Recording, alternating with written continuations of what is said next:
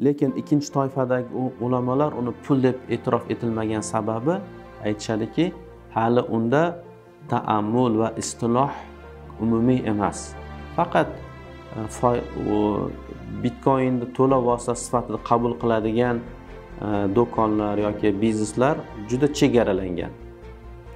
E, pul bo'lishi uchun umumiy istiloh kerak. Hamma tomonlar birdek qabul qilishgan lekin Э, buni pul sifatida agar э, xarid qilmoqchi bo'lsa э, bu joiz emas. Bitcoin va boshqa kriptovalyutalar esa ular markazlashmagan holatda. Ma'lum bir shaxslar tomonidan chiqarilayotgan narsa. Ularni orqasida kim turganligi ham noma'lum. O'ta mavhum narsa.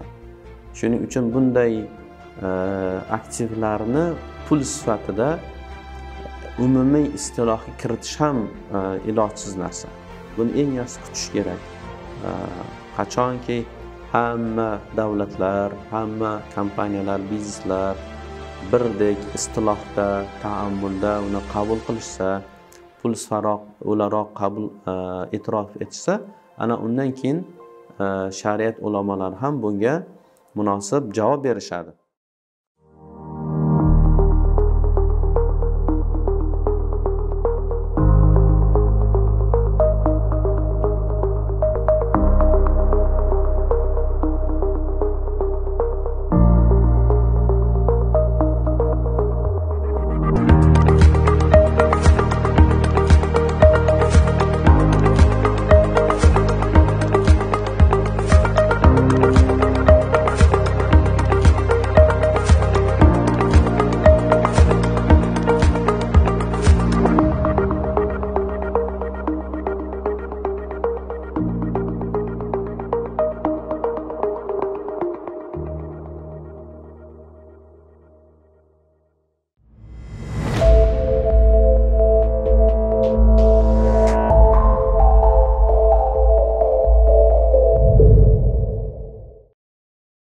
Assalomu alaykum va rahmatullohi va barakatuhu aziz irfon tv muxlislari.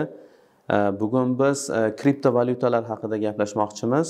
Eh, oxirgi paytda bitcoin narxi o'zgarganligi uchun juda ko'p qiziquvchilar bu haqida savollar berishni boshladi bitcoin haqida. Endi bitcoin o'zi kriptovalyutalarni bir turi bo'lganligi uchun qisqacha kriptovalyutalar haqida E, gapirmoqchimiz. Demak kriptovalyuta bu e, raqamli virtual olamdagi bir valyutani ko'rinishi e, hisoblanadi. E, o'zi shu paytgacha biz ko'pincha oldi berdilar. Mana fiqiy masalalar haqida gapirganimizda yo bo'lmasa real iqtisodiyotdagi o'sha tijorat bo'lsin ishlab chiqarish bo'lsin va boshqa masalalar haqida gapirardik. Ikkinchisi moliyaviy bozordagi masalalar haqida gapirardik. Aytaylik murobaha bo'lsin yoki sherikchilik e, lizing ijara e, bular hammasi o'sha moliyaviy bozordagi bir e, oldi berdilarni ko'rinishi. Endi bugungi kunda uchinchi bozor deylik yo bo'lmasa uchinchi bir olam deylik o'sha virtual raqamli olamdagi oldi berdilar. Haqida gapiramiz ya'ni kriptovalyutalar haqida. Kriptovalyutalarni hali aytganimizdek o'sha virtual olamdagi bir valyutani ko'rinishi bo'lib ular shu blokchain degan texnologiya yordamida ishlab chiqariladi. Va bu nimaga kerak? Mana shu agar internet e, boshlangandan beri o'sha davrni oladigan bo'lsak birinchi internet chiqqanda biz faqat e, o'sha windows dasturlarida e, bir narsalarni o'qish keyin elektron maktublar yozish kabi juda oddiy xizmatlardan foydalanardik. Borib borib keyin facebook chiqdi instagram va ijtimoiy tarmoqlar paydo bo'lgandan keyin endi nafaqat internetdan o'qib ma'lumot olish balki insonlar foydalanuvchilar bir birlari bilan fotosuratlar videolar va boshqa materiallar bilan o'zaro almashish imkoniyatiga bo'ldi. Endi bugungi kunda o'sha blokchain texnologiyalari yordamida biz o'sha real virtual olamda bir qiymatlar yaratish xizmatlar yaratish ularni E, sotish va bu sotganimizni evaziga ma'lum bir qiymatga ya'ni boylikka ega bo'lish imkoniyatiga ega bo'lyapmiz.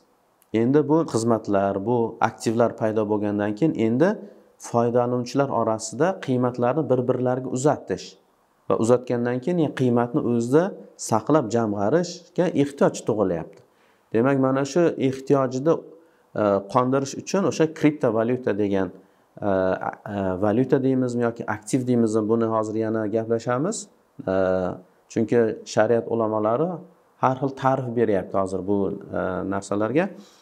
Demak o'z öz o'zidan kriptovalyutalarga yoki kripto aktivlarga e, ehtiyoj tug'ilyapti tabiiy ravishda. Endi mana shu jarayonda kriptovalyuta e, yaratilib u muomalaga kiritilgandan keyin Э, undan har xil maqsadlarda foydalanish kuzatilyapti jumladan spekulyativ tarzda. Odamlar uni olib o'sha real e, uzr virtual e, sohadagi xizmatlardan foydalanish yoki bo'lmasa virtual e, sohada qiymatlarni ko'chirish uchun emas balki o'sha kripto o'sha bitcoin oladigan bo'lsak bitcoinni sotib olib uni narxini oshishini kutib mo'maygina daromad olish Э, spekulyativ faoliyat qilish э, maqsadlari ko'proq kuzatilyapti kuzatilayotganligi uchun bunga shariat ulamolari albatta aralashib o'z fikrlarini bildirishyapti foydalanuvchilar orasida ham bu narsaga ko'proq savol tug'ilyapti. Demak e, buni foydalanuvchilar bizda tinglayotganlarga maslahat berardik. Kriptovalyutalarni maxsus bir saytlarda qo'shimcha o'rganib olishlari mumkin. Ularni misol uchun qidiradigan bo'lsangiz tokenlarda bersangiz bo'ladi. Hozir tokenlarni ham turlari ko'payib boryapti. Uni sotib olib ma'lum bir maqsadda ishlatish mumkin. Hatto e, qimmatli qog'ozlar sifatida ishlatilayotgan tokenlar bor yoki xizmatlar uchun ma'lum bir xizmatdan foydalanmoqchimisiz? O'sha tokenni olasiz va o'sha xizmatlarni sotib olsangiz bo'ladi. Va shu bilan birga bitcoinni o'zi ham e, shunday bir tokenlardan bir turi bo'lib uni ham aytaylik ma'lum bir ma'lum bir ma'noda pul ko'rinishida ham ishlatsangiz bo'ladi chunki uni aytaylik bir xizmatlar sotib olsangiz bo'ladi shu bilan birga hozir offlayn joylarda ham ularni to'lov vositasi sifatida qabul qilayotganlar ham uchrab turibdi. Endi kriptovalyutalarni shariat nuqtai nazaridan tahlil qilishga o'tadigan bo'lsak avvalambor kriptovalyuta bu haqiqatdan ham pulmi? Uni shariat pul deb e'tirof etadimi yo'qmi degan savolga javob qidirsak. Demak e, shariat nuqtai nazaridan pul ya'ni e, saman deyiladi. Saman bu ham baho narx degan e, ma'nosi ham bor va shu bilan birga pul degan ma'nosi ham bor. Samanni o'zi ikki xil bo'ladi. Samani xalqiy va samani urfiy. Samani xalqiga asosan oltin va kumush pullar kiradi. Chunki azal azaldan bu ikkita narsani alloh taolo barcha xalqlarga umumiy pul qilib bergan yaratib bergan. Va qur'oni karimda ham hadis shariflarda ham bu o'zini isbotini topgan. Bunda hech qanaqangi e, savol bo'lishligi mumkin emas. E, demak doimiy tarzda samoni xalqiy alloh taolo aynan bu oltin va kumushni faqat pul uchun o'zi yaratgan degan umumiy ishonch hammada bo'lgan. Ikkinchisi samani urfiy samani urfiy ham ikkita sababga ko'ra taammul va e, istilohga ko'ra e, e, bo'ladi. Taamul degani hamma birdek amal qiladi. Istiloh esa hamma birdek o'sha narsa kelishib oladi. Va o'shanga birdek amal qiladi. Misol uchun e, samani urfiylarga e, bug'doy xurmo tuz yoki mayiz kabi yoki teridan bo'lgan bir e, mahsulotlar e, pul sifatida ishlatilishligi mumkin saman urfiy ya'ni taammul bilan yoki istiloh bilan. Hamma agar shunga birdek rozi bo'lsa hamma shuni birdek qo'llasa hayotida bozorlarda demak uni pul sifatida ishlatish ishlatish mumkin. Bunaqangi e, mahsulotlarni ham. E, bizning mazhabimizning e, ulamolaridan imom muazzam va imom abu yusuf rahimahumalloh ular aytishadiki ikkita tomon sotuvchi va oluvchi o'zlari kelishgan holda har qanday mahsulotni saman qilib belgilashlari mumkin. Misol uchun oldi berdi qilishyapti. Aytaylik bir tomon qoramol sotyapti ikkinchi tomon uni evaziga bemalol un bilan badalini to'lashi mumkin. Va mana shu un aytaylik o'sha e, shartnomani aqdni e, samani bo'lib xizmat qiladi. E, Imom muhammad rahimaulloh esa aytadilarki faqat ikkita tomonni kelishuvi bilan un misol uchun saman bo'lib qolmaydi. Buning uchun umumiy isloh kerak. O'sha jamiyatda yashayotgan barcha xalq vakillari shu bilan birga davlat e, o'sha e, mas'ul bo'lganlar e, bunga birdek kelishishlari kerak va shunga birdek amal qilishlari kerak deydi. Va keyingi ulamolar mana shu imom muhammadning qavlini afzal deb bilishgan. Э, endi samanni э, fiqhiy huquqiy jihatlarini o'rganadigan bo'lsak umuman shartnomalarda o'zi e, savdo shartnomasini oladigan bo'lsak uni to'rtta rukni bor. Uni e, oldingi e, bay haqida gaplashganimizda ham aytgandik. Birinchisi ijob va qabul ya'ni bir tomon ijob qiladi ikkinchi tomon qabul qiladi o'sha taklifni. Uchinchisi mabiy ya'ni savdo moli savdo moli o'sha shariatda mol deb e, topilgan narsa bo'lishi kerak. Misol uchun musulmon uchun e, harom bo'lgan narsalar yoki qo'lga kiritish imkonsiz bo'lgan e, narsalar mol bo'lib xizmat qilolmaydi va ular mabiy ham bo'lolmaydi to'rtinchisi saman. Ya'ni bay tuzilayotganda albatta saman ham bo'lishi shart va u ko'rsatilishligi uning miqdori uning turi albatta aytilishi kerak. O'shandagina bay aqdi kuchga kiradi. Bo'lmasa u kuchga kirmaydi. Ana endi mana shu ko'rib chiqdik samanni mabiydan ya'ni savdo molidan farqli jihatlari bor. Birinchisi shuki mabiy e, savdo shartnomasi tuzilayotgan payti e, e, bir mavjud narsa bo'lishi kerak. Hali yuzaga chiqmagan narsani sotuvga qo'yib bo'lmaydi. Lekin samanda unaqangi samanga undan shart qo'yilmaydi. Misol uchun oluvchini hali cho'ntagida puli bo'lmasa ham u bemalol aqdni qilishi mumkin. Balkim u birovdan qarz olib to'lab yuborishi mumkin hozir salom savdosi haqida biz e, e, gapirmayapmiz. Samanda albatta mabiy bo'lmasa ham savdo qilsa bo'ladi u istisnoli tarzda bo'ladi. Biz hozir mutlaq savdo haqida gapiryapmiz ikkinchisi Э, mabi hech qachon dayn bo'lolmaydi. Dayn degani majburiyat e, qarz majburiyati misol uchun deylik e, shartnoma tuzamiz e, mayli mabiyni keyin bersang ham bo'ladi qachon bersang ham deb pulni berib qo'ya olmaymiz. Albatta mabiyni olishimiz kerak qabz qilishimiz kerak. Savdo kuchga E, savdo shartnomasi kuchga kirishligi uchun. Lekin samanda e, dayn bo'lish imkoniyati bor. E, shunday xususiyati bor.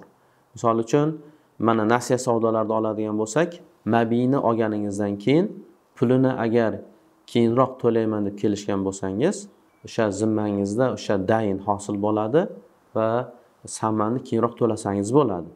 Demak samanni shunday nimasi xususiyati bor ekan. Ana endi e, yana bir tomoni e, savdo shartnomani tuzganingizdan keyin mabiyni agar yetkazib bera olmasangiz ma'lum bir sababga ko'ra savdo shartnomasi fosil bo'ladi. Lekin samanda unaqangi e, holat bo'lmaydi. Agar savdo shartnomasini tuzib mabiyni qo'lga olib samanni yetkazib bera olmasangiz ham savdo shartnomasi fosil bo'lmaydi balki sizni zimmangizda dayn hosil bo'ladi. Keyin pulni topib albatta to'laysiz va savdo shartnomangiz e, kuchga e, kuchda qolaveradi. E, yana bitta narsa agar samanni qayta yana belgila ya'ni savdolashib belgilashi mumkin. Misol uchun biz xiyori shart xiyorul ayb xiyor ro'ya degan oluvchini ya'ni xaridorni ma'lum bir ixtiyor huquqlari haqida gapirgandik. Oldingi mavzularda. Ana shu e, ixtiyorlardan foydalanib aytaylik oluvchi savdo shartnomasini keyin samandi e, miqdorini yana qayta belgilashligi mumkin. Lekin mabiyda unaqangi xususiyat yo'q. Ma'lum bir mabiy kelishildimi? Demak o'sha yo berasiz e, yo bo'lmasa qaytarib olasiz savdoni savdo buziladi.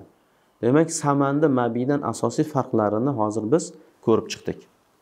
Samanni yana e, shunday qo'shimcha xususiyatlari borki e, uning foydasi keyin keladi. Hasan basriy rahmatullohi alayhi aytganlarki pul shunday do'stki u e, uning foydasi faqat seni tark etgandagina keladi deydilar. Xuddi shunday u pulga bir narsa sotib olasiz mahsulot xizmat keyin uni foydasini ko'rasiz. Ungacha foydasini ko'rmaysiz. Mabiyda esa foyda kelaveradi. Misol uchun qoramol mol e, savdo molini oladigan bo'lsak u turgan tursa sizga sut beradi yo bo'lmasa uni markab qilib minishingiz mumkin va hokazo. Ehm, shu bilan birga pul e, o'sha saman narx vazifasini ham bajaradi. Ya'ni o'zi saman degan narsani arab arab tilidagi lug'aviy ma'nosi narx baho degan ma'noni bildiradi. Uni aytaylik ma'lum bir narsaga albatta baho qo'yish uchun sizga pulga ehtiyoj seziladi. Pulsiz uni baholash juda qiyin. Va yana shu bilan birga pulni ayirboshlash vazifasi bor. O'sha jamiyatda e, insonlar orasida e, narsalarni mahsulotlarni xizmatlarni ayirboshlashga e, bir vositachi narsa kerak. Ana shu pul shu vositachilik rolini bajaradi. Endi zamonaviy iqtisodchilar ham pulga e, ko'p ta'riflar berishgan. Zamonaviy iqtisodchilardan e, garvard universitetini professori grigoriy menko degan iqtisodchi aytadiki pul degani bu shu odamlar tomonidan mahsulotlarni xizmatlarni sotib olish uchun doimiy tarzda ishlatiladigan e, aktivlar majmuasi. Deylik u naqd pullar bo'lishi mumkin yoki hisob raqamdagi pullar yoki plastikingizdagi pullar cheklaringizdagi bular hammasi shu e, pul degan narsani bildiradi. Ana shu hammasini majmuasi shu pulni bildiradi. Endi zamonaviy iqtisodchilar e, shu pul degan narsaga yana e, ular qanaqa funksiyalarni bajarishi kerak? Ularni ham aytib o'tishgan. Agar mabodo shu funksiyalarni bajarmas ekan ulni u narsani pul deb bo'lmaydi. Demak birinchisi e, store of value. E, mana shu asosiy funksiyalardan biri. Store of value. Ya'ni pul qiymatni o'zida e, yig'ish to'plash imkoniyatiga ega bo'lishi kerak.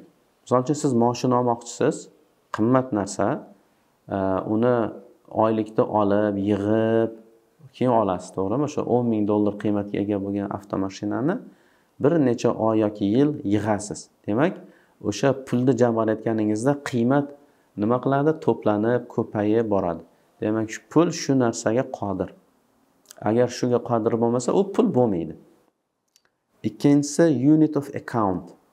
Demak pul degan narsada shu narsa bo'lishi kerak. Ya'ni o'lchov birligi deymizmi?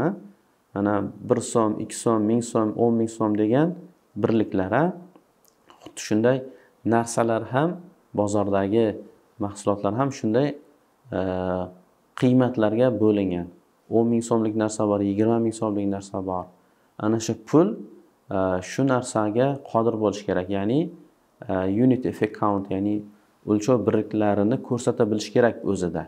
Agar o'lchov birligini aks etolmasa u ham pul bo'lolmaydi uchinchisi medium of exchange ya'ni ayirboshlash vositasi. Pullar e, oltin kumush pullar muomalaga kiritilishidan oldin mana tarix kitoblar yoziladi insonlar barter bilan hayot kechirishgan. Ya'ni tovarlarni yoki mahsulotlarni bir birlariga ayirboshlashgan. Boshlashgan bu juda noqulaylik keltirib chiqargan. Kimdir non ishlab chiqaradi nonvoy aytaylik unga go'sht kerak. Qassobdan borib go'sht olish uchun non bergan. Agar qassobni nonga ehtiyoji bo'lmasa u go'sht ololmagan. E, demak o'rtada bir shunday vositaga ehtiyoj sezilgan. Ya'ni hammaga birdek ma'qul keladi hamma birdek uni qabul qiladi. Shu narsa bu pul. Pulni demak asosiy funksiyalaridan biri bu ayirboshlash vositasi. To'rtinchisi standard of deferred payment. Buni o'zbekchasi kechiktirib kechiktirib to'lanadigan to'lov mezoni. Hali aytdik savdo molida bunaqangi e, qobiliyat yo'q. Misol qoramol bo'lsin misol uchun men deylik shartnoma tuzsangiz sen menga xizmat ko'rsat uyimni qurib bergin men senga e, o'nta qo'zi beraman deb kelishsangiz bo'lmaydi. Nimaga? Chunki u e, qo'zilarda o'sha qo'ylarda qoramollarda mana shunaqangi kechiktirib to'lash e, mezoni yo'q standarti yo'q. Chunki unda nizo kelib chiqadi. Qanaqa u bo'lishi kerak. Pullarda hech qachon nizo kelib chiqmaydi. Aytaylik o'n ming dollar beraman desangiz har qanday ishni qildirsangiz bo'ladi. Keyin kechiktirib to'laverasiz yoki o'sha nasiya savdolarda ham shunday. Shuning uchun ham boshida aytdikku samanni dayn bo'lish e, qobiliyati bor. E, qarz qarzdorlik majburiyatini e, o'zida shakllantira oladi. Zamonaviy iqtisodchilar yana pul degan tushunchaga yana bir qo'shimcha xususiyatlarni ham berishadi. Bu xususiyatlardan biri acceptable. Ya'ni hamma Э, jamiyatdagi э, tomonlar э, buni birdek qabul qilishlari kerak. Man hozirgi kunda so'mni oling aqsh dollarini oling bularni hamma birdek qabul qiladi. Mehnat qiluvchi ham oylikka ishlovchi ham yoki tijorat qiluvchi ham ikkinchisi divisible ya'ni bo'linish xususiyatiga ega bo'lishi kerak pul. Misol uchun yaxlit narsa emas. Hozir aytdik mana so'mni oladigan bo'lsak ming so'mlik ikki ming so'mlik besh ming so'mlik o'n ming so'mlik. Mana shunday bo'linib boradi. Har qanday qiymatni mana shu nima qilishi mumkin? Vujudga keltirishi mumkinda qo'shib yoki ayirib. Uchinchisi portable. Ya'ni pul degan narsani bemalol inson o'zida ko'tarib yurishligi bir joydan ikki joyga ko'chira olishligi mumkin bo'lsin. O'shandagina pul bo'ladi. To'rtinchisi e, scarcity. Ya'ni e, pul shunday narsa bo'lishi kerakki u o'sha e, e, tabiatda kam uchraydigan narsalardan bo'lsin. Hamma joyda o'sib turadigan bir o'simlik bo'lsa yoki bir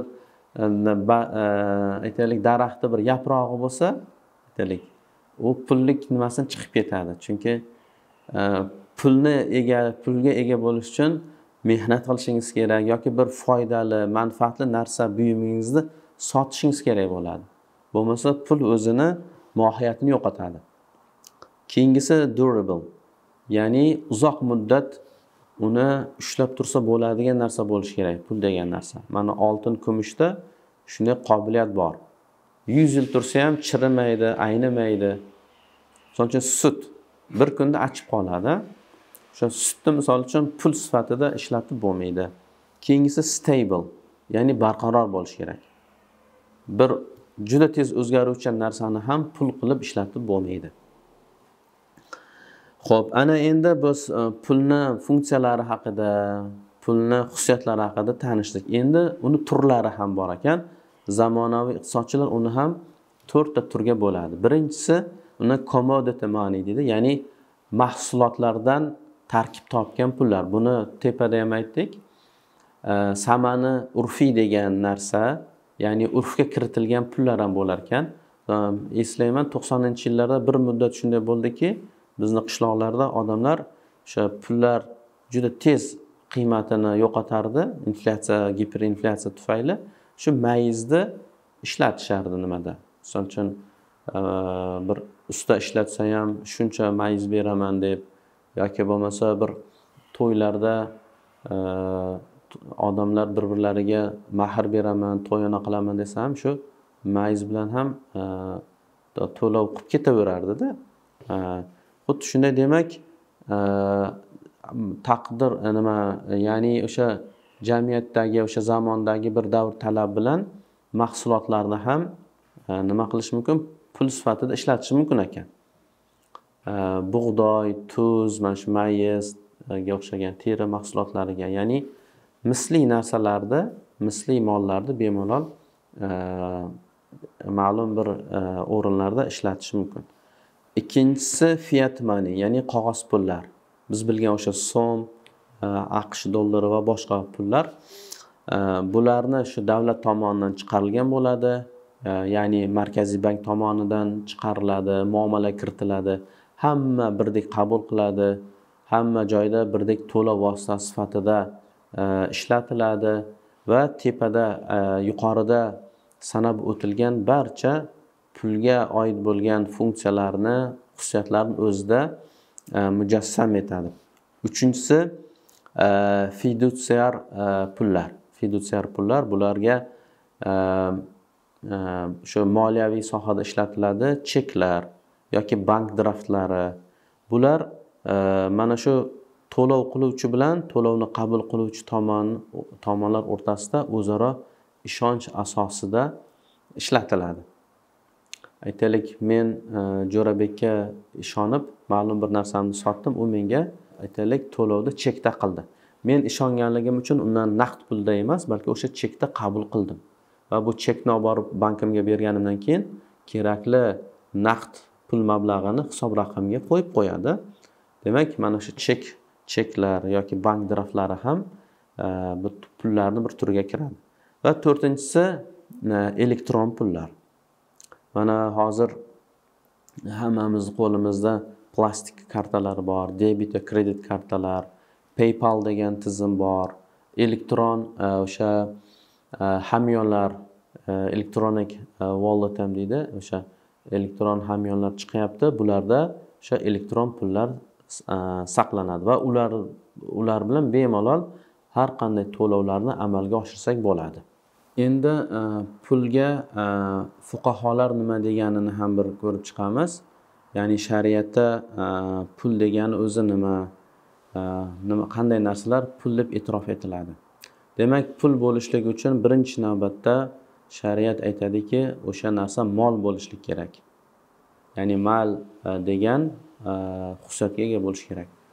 Demak shariatda hali aytganimizdek mol bo'lishligi uchun e, o'sha musulmonlar uchun halol bo'lgan foyda keltiradigan narsalardan bo'lishi kerak.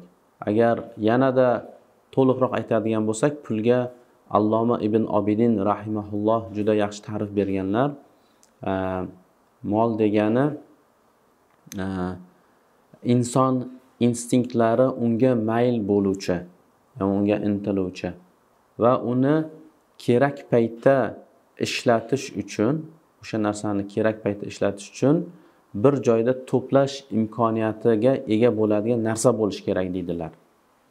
Ha? Demak e, alloma ibn obidin rahimaullohning nazarlarida shu Э, mol degan narsada asosiy ikkita sifat bo'lishi kerak. Birinchisi inson unga mayl bildirish kerak. O'zi mal so'zi ham shu mayldan olingan.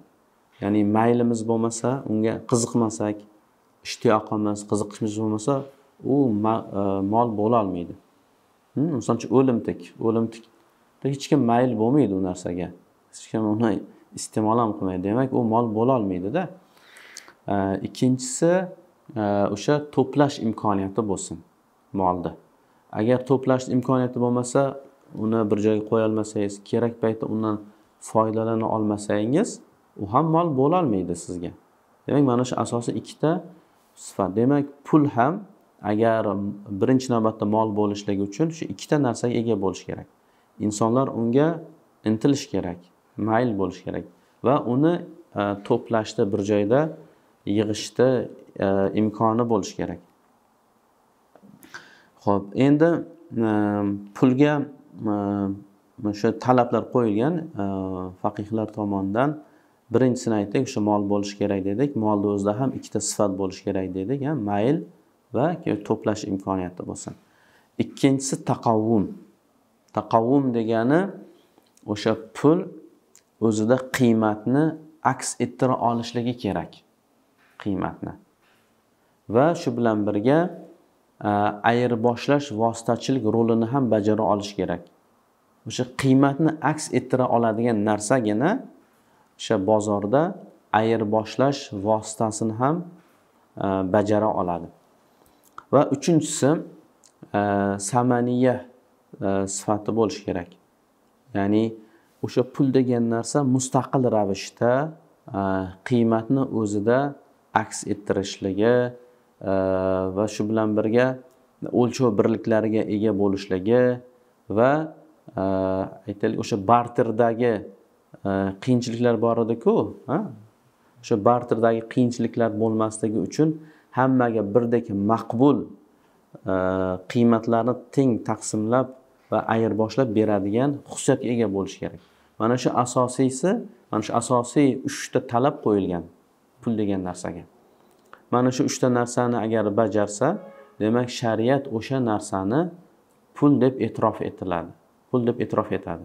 Xo'sh endi ulamolarimizni kriptovalyutalar haqida aytgan fikrlarni ham e, ko'rib chiqamiz. E, kriptovalyutalarni ichidan aynan bitcoin haqida biz to'xtalib o'tmoqchimiz. Birinchidan bitcoin e, kriptovalyutalar ichida eng mashhuri va shu bilan birga hajm jihatdan eng kattasi yaqinda bu bozor kapitalizatsiyasi olti yuz milliarddan ham e, oshgandi. Va oxirgi narxlar tushishi bilan e, to'rt yuz uch yuz to'qson milliard atrofida bo'lib qoldi. Shu bilan birga e, asosiy so'ralayotgan savollar ham bitcoinga taalluqli bo'lganligi uchun. Demak ulamolar aytadiki ya'ni birinchi toifadagi ulamolar aytadiki bitcoin hech qanaqangi mol emas. U pul bo'lishligi mumkin emas. Demak mol bo'lmagandan keyin uni pul ham ishlatib bo'lmaydi. U u bir mavhum narsa. Faqat spekulativ maqsadda chiqarilib yengil mo'may daromad olish uchun e, chiqarilgan narsa. Unga pul tikish unga sarmoya qilish mumkin emas joiz emas deydi. Ikkinchi toifadagi ulamolar bitcoin e, bu raqamli aktiv. Ya'ni ma'lum jihat ma'lum bir ma'noda u mol. Uni kerakli o'rinda raqamli aktiv sifatida foydalansangiz bo'ladi undan. Lekin pul emas. Chunki biz pulni mana xususiyatlarini funksiyalarini ko'rib chiqdik. Ko'p xususiyatlari mana shu bitkoinda topilmaydi. Uchinchi toifadagi ulamolar bular e, bitkoinga ancha liberal yengil qarab uni mol sifatida va shu bilan birga E, pul sifatida e'tirof etishadi va undan foydalanish joiz deyishadi. Ana endi bu ulamolarni e, fiqiy qarashlarini birma bir tahlil qilib chiqadigan bo'lsak birinchi toifadagi ulamolar joiz emas deyishdi va sabablarini ular aytishadiki bitkoinda e, hech qanday bir foydalilik xususiyati yo'q. Uni bir ishlatib bo'lmaydi inson bir un bilan kundalik hayotida ishlatib bo'lmaydi deyishadi. Faqatgina u e, odamlarni orasida spekulativ maqsadlarda foydalangan uchun ko'plarni e, aytaylik moliyaviy yo'qotishlariga sabab bo'lmoqda deyishadi. E, va tarixini ham ko'radigan bo'lsak o'sha ikki ming o'zi ikki ming to'qqizinchi yillarda agar asos solingan bo'lsa ikki ming o'n yettinchi yillarga kelib bozorda ancha bu bitkoinni savdosi ancha faollashib qoldi. Aytaylik bir ming e, o'sha ikki ming o'n yettinchi yil yanvar oyida bir ming yuz dollar bo'lgan bitcoin dekabr oyiga borib ya'ni o'n bir oyni ichida yigirma ming dollardan oshib ketdi yigirma karra oshib ketdi. Va e, aytaylik ikki ming yigirma birinchi yilda esa oltmish mingdan ham oshib ketdi. Ya'ni qisqagina to'rt yil to'rt yarim yil ichida oltmish martagacha oshish holati kuzatildi. Bu esa e, va mana shu to'rt yil oxirgi to'rt yil besh yil ichini o'zida ham bu bitcoinni bir necha marta narxi o'ynaganini ko'rishimiz mumkin tushib chiqqanligini. Bu ham o'sha ko'pincha spekulativ narsalarda uchraydigan narsa. Demak bu e, narsani e, musulmonlar e, ishlatishlari mumkin emas deb aytishadi bu birinchi toifadagi ulamolar. Ikkinchi va uchinchi toifadagi ulamolar bu e, bitcoinni mol deb e'tirof etishadi ya'ni raqamli aktiv e, e, va uchinchi toifadagilar uni hatto valyuta deb e'tirof etishadi. Ular aytishadiki bitcoinda o'sha molga berilgan sifat bor ya'ni insonlar unga mayl bildiryapti. Ya'ni unga qiziqib unga intilyapti. O'sha kimdir uni sotib olib foyda ko'rgan. Demak unda mollik xususiyati bo'lganligi uchun uni joiz deymiz deyishadi. Lekin ikkinchi toifadagi ulamolar uni pul deb e'tirof etilmagan sababi aytishadiki hali unda taammul va istiloh umumiy emas. Faqat e, bitcoinni to'lov vositasi sifatida qabul qiladigan e, do'konlar yoki bizneslar juda chegaralangan. Э, pul bo'lishi uchun umumiy istiloh kerak. Hamma tomonlar birdek qabul qilishi kerak. Masalan aqsh dollarini oladigan bo'lsak yoki angliya funt sterlingi va boshqa hokazo ularni hamma birdek nima qiladi? Qabul qiladi. Unga uni e, saqlashadi. Shuning uchun bitkoinni valyuta sifatida e'tirof etmaymiz deyishadi. Endi uchinchi toifadagi ulamolar ular e, ruxsat bergan uni valyuta sifatida e'tirof etishgan lekin xulosa o'rnida shuni aytish mumkinki mana shu ikkinchi toifadagi ulamolarning qavlini bugungi kunda e, eng mo'tadil bir qavl sifatida va shu bilan birga aksariyat ahli ilmlar va ilmiy doiralarda eng e, ko'p qabul qilingan bir fikr o'laroq bilamiz. Va buni ham e, va biz ham shu e, qavlni qavlni qabul qilamiz. Demak e, bitkoinni bu mol sifatida o'ziga yarasha foydali tomonlari insonlar undan bir foyda topayotganlarini ham ko'ryapmiz. Va bugungi virtual real olamda unga shunaqangi shu narsaga ehtiyoji bor ekan albatta uni chegaralab bo'lmaydi. Э, demak virtual olamdagi foydalanuvchilar uni olib foydalanishliklari mumkin. Kerakli o'rinlarda aytaylik kimdir e, o'zini internet kompaniyasi bor ma'lum bir xizmatlar olish kerak. U xizmatlarni olish uchun aytaylik xizmatlarni yetkazib beruvchi kompaniya bitcoinda to'lov qilishni talab qilyapti. Uning uchun bemalol qo'rqmasdan o'sha kerakli miqdordagi bitcoinni birjadan. Hozirgi kunda shu e, bitcoinlar birjalarda shu bilan birga e, o'sha elektron hamyonlarda ham saqlanib e, o'zaro ayirboshlanyapti bu bozorda. Ulardan shuni xarid qilib demak bemalol o'sha bitcoin talab qilgan kompaniyaga to'lovni qilish mumkin. Bunda biz hech qanaqangi chegara qo'ymaymiz. Lekin buni pul sifatida agar xarid qilmoqchi bo'lsa bu joiz emas. Chunki bitcoin hali e, pul o'laroq keng ko'lamda qabul qilingani yo'q. Pul bo'lishi uchun mana aytdik eng asosiy e, masalalardan biri bu o'sha urfda taammul yoki istiloh e, bilan bo'ladi. Chunki bu oltin kumush bo'lmagandan keyin ikkinchidan qog'oz pullardan farqli farqli ravishda bitcoinlar markazlashmagan holatda chiqariladi. Qog'oz pullarni markaziy bank yoki davlat nima qiladi? Markazlashgan holatda ma'lum bir qonunchilik asosida chiqaradi va keyin uni orqasida davlat o'sha o'zining xazinasi bilan o'zini boyligi bilan valyuta rezervlari bilan uni himoya qiladi. Bizni so'mimizni ham orqasida davlat turibdi. So'mni qiymatini tushirib yo borishi yoki yo'qolib ketishga davlat yo'l qo'ymaydi hech qachon. Uni orqasida davlat turganligi uchun.